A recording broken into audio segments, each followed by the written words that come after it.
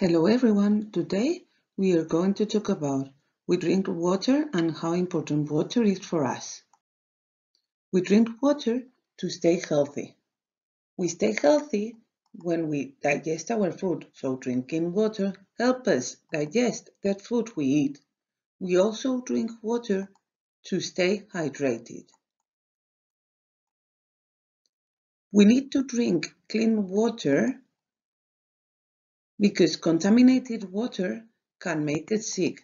So remember, never drink contaminated water.